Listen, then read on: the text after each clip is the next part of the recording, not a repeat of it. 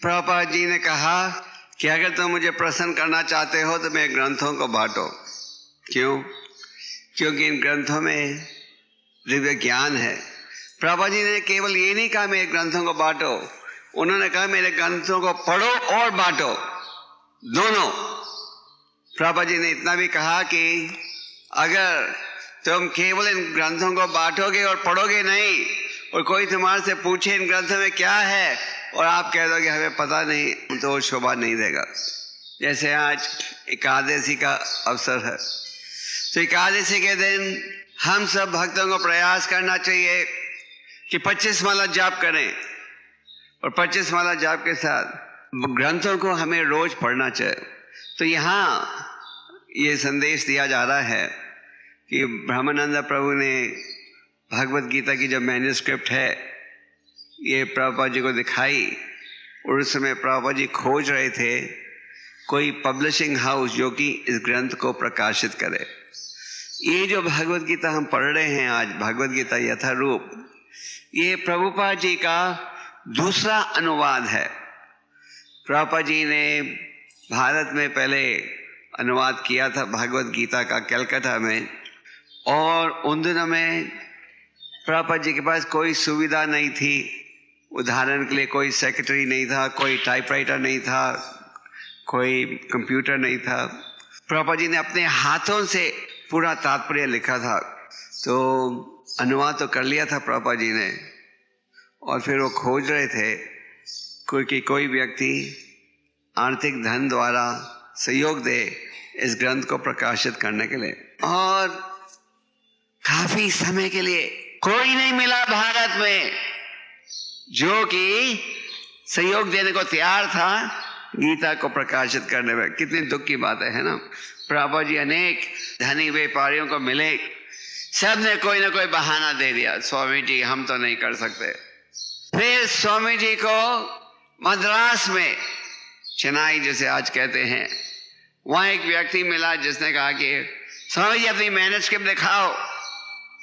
मैं देखना चाहता हूँ कितनी अच्छी है। और शायद मैं तुम्हारी तुम्हारा सहयोग करूँ। तो प्रभु जी इतने खुश हुए कि वो चेन्नई से लौटे।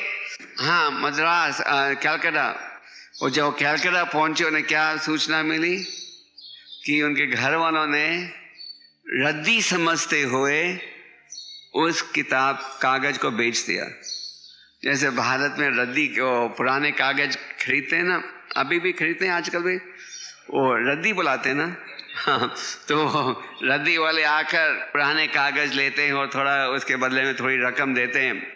तो उसी प्रकार प्रभा जी के घर वालों ने जब प्रभा जी प्रचार के लिए गए थे उन्होंने सोचा ये तो रद्दी है।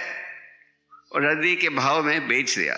गीता की पूरी मैंने स्क्रिप्ट जो प्रभा जी ने अनेक सालों के प्रयास से तैयार की थी। अगर कोई साधारण व्यक्ति होता तो उसका दिल ही टूट जाता हम और प्रभा जी ने फिर से अनुवाद किया। पूरी गीता का फिर से अंदाज़ा लगाओ कितने सालों का परिश्रम था।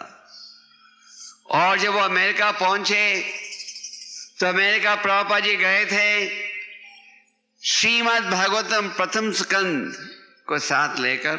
प्रथम स्कंद को प्रभुपा जी ने प्रकाशित किया था। जब वो वृंदावन में विराजमान थे, राधा दामोदर मंदिर में आप दिल्ली के भक्तों का बड़ा सौभाग्य है, मैंने आपको कई दफ़ा कहा है।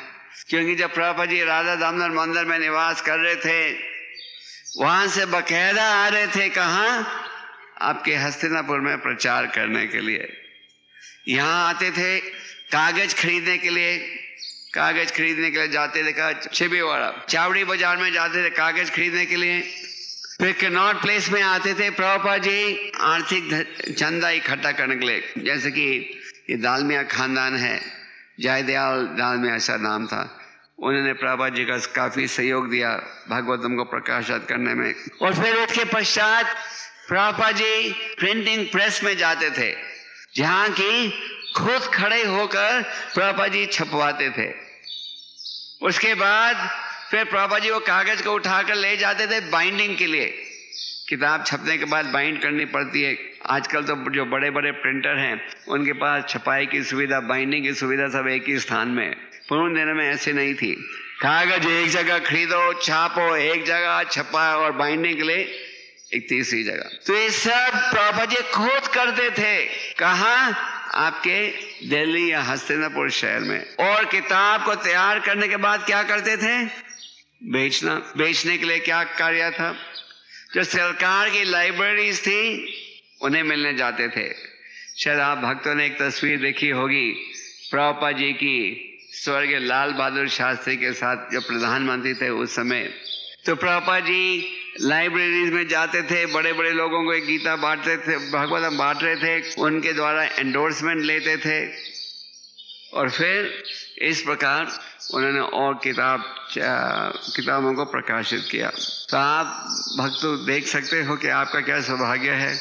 ना आपको कागज़ खरीदना पड़ता है, ना आपको कागज़ की छपाई के लिए पैसे करना पड़ता है, आपको केवल इन ग्रंथों को बांटना पड़ता है, बस।